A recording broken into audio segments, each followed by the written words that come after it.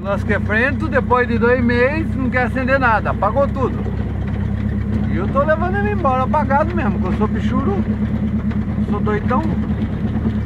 Apagou tudo, não sei nenhum farol.